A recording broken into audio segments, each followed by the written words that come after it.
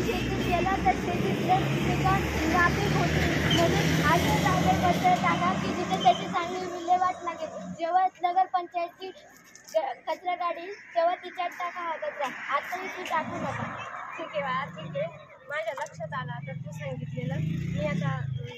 माझ्या चार मैत्रिणींना सांगेल की ज्यावेळेस कचऱ्याची गाडी येईल त्यावेळेस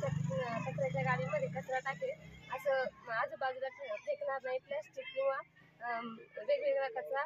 कचऱ्याच्या गाडीत टाकेल